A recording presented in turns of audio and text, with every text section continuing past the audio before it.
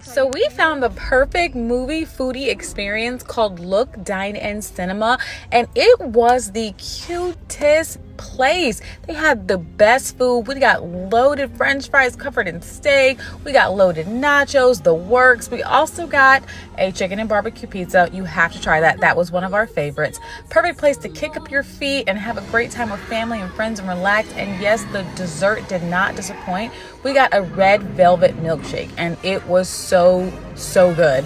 And of course, all good things must come to an end. So the movie did end. But overall, if you want to give your family a great experience, I give this place a 9 out of 10. Stay tuned for more.